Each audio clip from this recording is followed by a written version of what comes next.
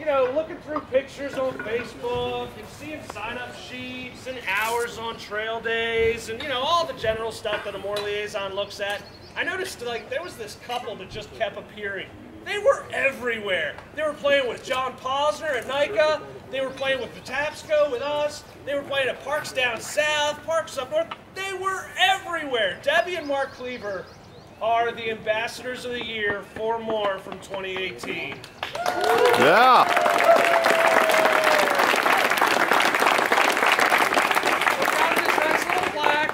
And a pat on the back.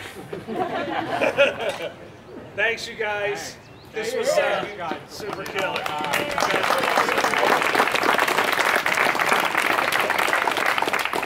All right, now